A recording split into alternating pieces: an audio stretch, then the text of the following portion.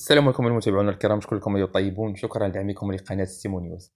أشكركم على التشجيع أشكركم على التحفيز. أشكر كل شخص يقوم بدعم قناة سيمو نيوز كيفما أراد أن يكون شكل هذا الدعم. أقول لكم جزاكم الله خيرا وأتمنى من الله سبحانه وتعالى أن نكون عند حسن ظنكم وعند حسن تطلعاتكم.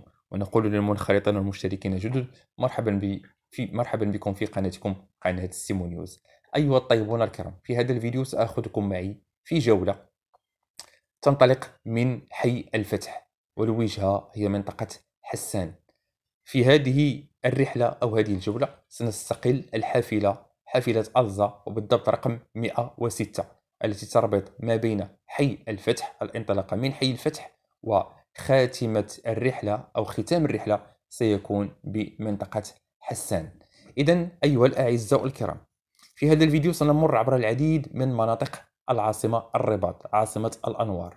بحيث الانطلاقة كما قلت ستكون من حي الفتح كما يظهر أمامكم ثم سنمر عبر منطقة المنال ثم حي المنصور يعقوب المنصور ثم الإخوة سنتوجه نحو شارع يعني الكفاح ثم شارع الحسن الثاني ثم كذلك شارع النصر والخاتمة التي يعني ستكون بالنسبة لي أنا ستكون بقرب من مسجد السنة.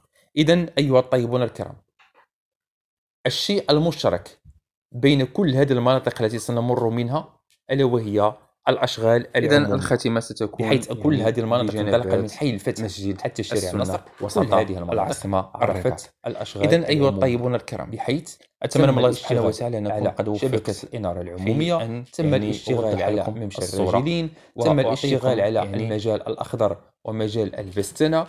تم الاشتغال على توسعة الطرقات وعمليه التزفيت. إذا العديد من الأمور وبخلاصة أو كخلاصة تم الاشتغال على التهيئة ب يعني جميع نواحيها.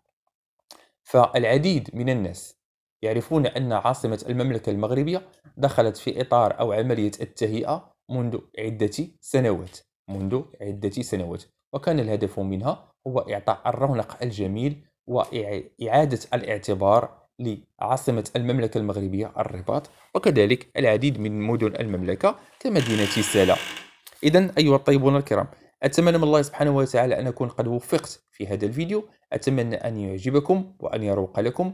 وإلى أن نلتقي في فيديوهات أخرى أستودعكم الله على أمل اللقاء بكم قريبا.